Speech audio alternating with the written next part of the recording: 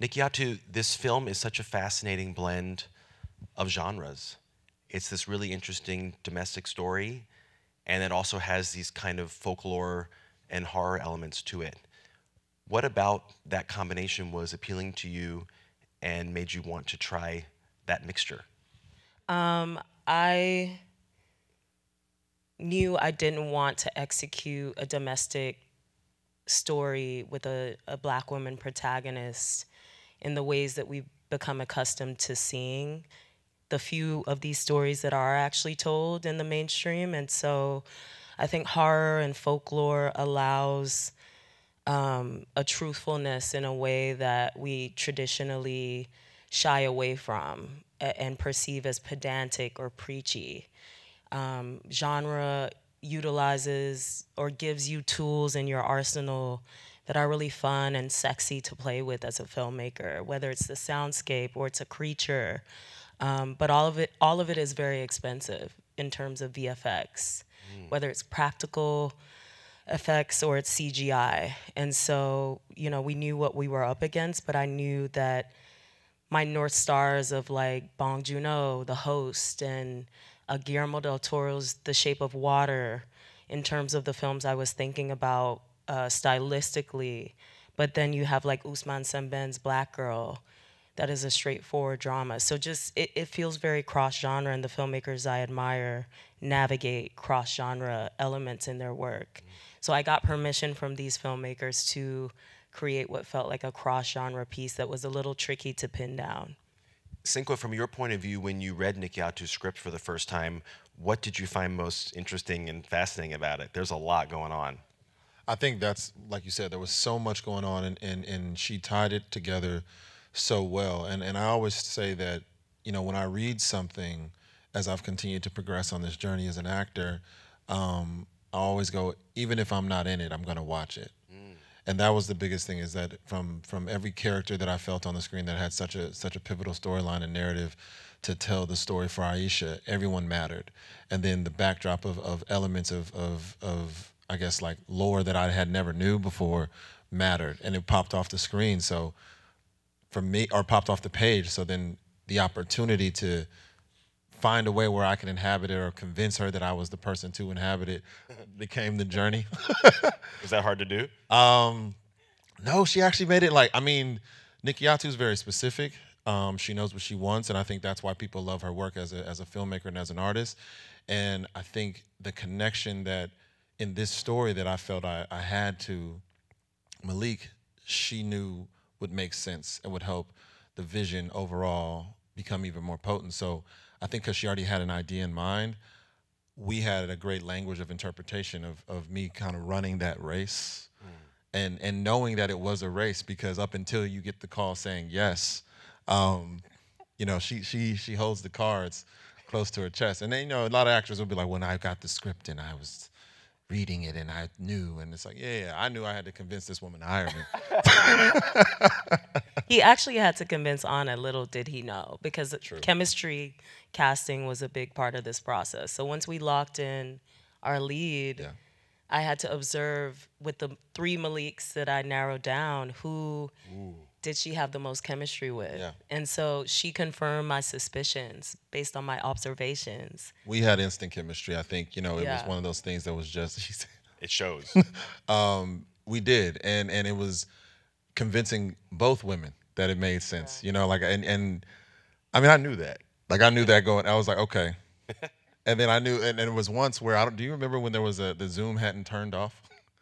And I heard them talking about me, and I was like, I remember that. And I go, I go, I go, hey, uh, you don't remember this? I was like, uh, I think I should be out of this conversation, so I hit leave.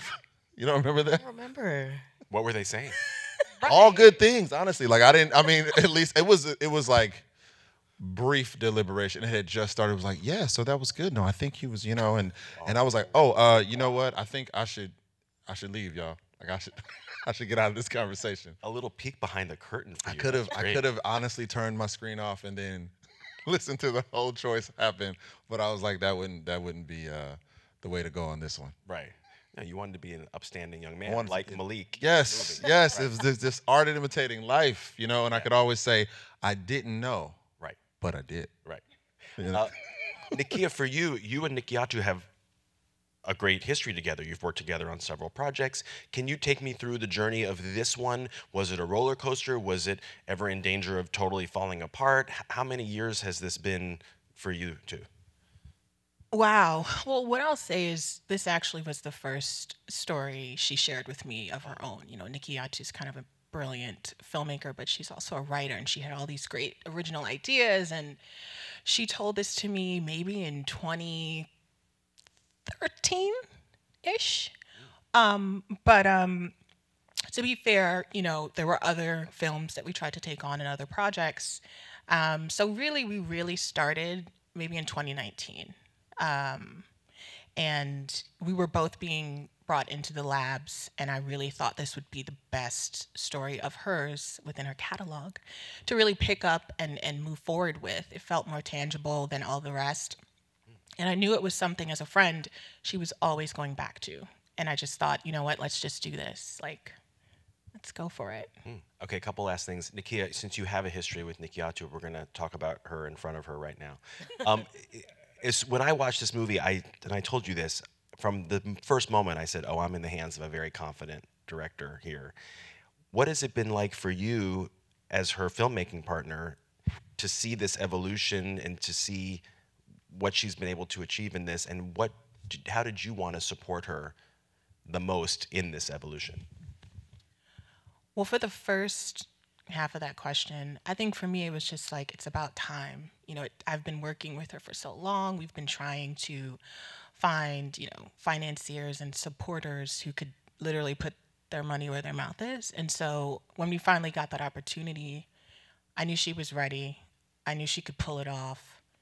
It was just we needed to do it. We needed people to step out of our way and just let her do her thing um, and she delivered in spades. I mean, I can't even say she did better than I thought because I knew she could do it. I knew what she was capable of. And then I can't really remember what the second half of the question was, but How you wanted to support oh, you know, I try to show up and support in a myriad of ways. I think as a her producing partner, I think the one thing I try to do is be a chameleon because you know this was still this was an independently funded film. The resources were stretched. I tried to make sure everything could go to what you saw on the screen as much as possible. So as her partner, I try to be whatever any department needs of me at any given time, so we can all cross that finish line together. And then I want to ask one question to Kiatu about the very specific moment where uh, Aisha asks Malik to guess what country she's from. And she says it starts with an S. and he guesses Sierra Leone and South Africa before he guesses Senegal. You're Sen- Sierra Leonean American. Was that put in there as a little shout out to your home country? Yeah, of course. I always have to slide in a shout out. Nobody knows anything about Sierra Leone. So, and it's a tiny country. And, you know, as a Sierra Leonean American filmmaker, other Sierra Leoneans are like, well, why isn't she Sierra Leone? Because they don't understand the industry. So they're like, why didn't you cast, why didn't you make this a Sierra Leonean story? And it's much more complicated than that, you know? But, um, any even in the soundscape, Sam, Sampha, it was one of the artists. He's an amazing musician who's British Sierra Leonean. We had the Kondi band that's Sierra Leonean. So I I snuck in hints that I am Sierra Leonean uh, where I could. I don't know. A few people are catching it here and there, but I had to I had to give a little shout out to my people. I congratulate all three of you. I love this movie. It's a pleasure to see all of you. Great great question. Yeah. Thank Really good Nikyatu question. Jusu, Thank Sinqua you. Walls, Nikkia Moulterie. Thank you for sticking around.